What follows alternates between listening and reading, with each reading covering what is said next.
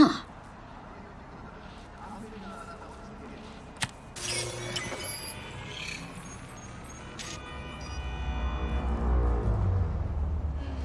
If you're watching this, you know how our story ended. I'm a smidge jealous, I'll admit. I'm scared, V. But I need to trust you, and I do. And if you're watching this, I was right too.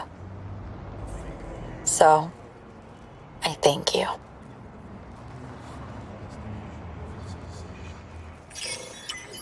Hmm.